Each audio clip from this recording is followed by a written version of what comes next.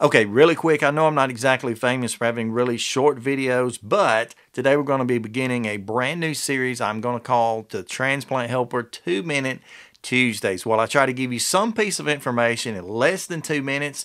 So we're going to put a clock up on the screen in just a minute and see if we can make it. But let's get started. Here it is. Today, I'm going to be offering you not a product review necessarily, but a product suggestion. This happens to be the SHD. I had to look on my screen. The SHD pill carrier. I picked it up on Amazon the other day. It was about 14 bucks. It is a stainless steel, very, very heavy duty. Let me see if you can if you can hear that. That is not cheap. It's actually pretty heavy.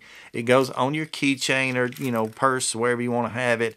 It actually has a seal on the inside, so it is waterproof, weatherproof, and it holds quite a few pills. Now, it won't hold my entire dose, I'll admit that, but it does hold my essentials, so things like Prograf, mycophenolic acid, or Myfortic I have in here, as well as something I like to keep with me all the time, and that is an Imitrex tablet. That's for my migraines, which who knows when they can come on, but as you can see, it, it does pretty good. It's not even about halfway filled and I've got uh, maybe seven or eight pills in here. So, you know, again, won't necessarily carry your whole daily dose or anything like that, but it does happen to have enough in it that it's going to be perfect for me. And again, extremely durable, uh, heavy enough to let you know it's nice, but not, you know, not so light that anything will happen to it. So very, very sturdy, very durable.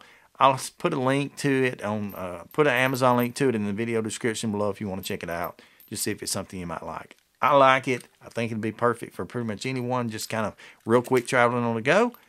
Again, stay stronger, friends.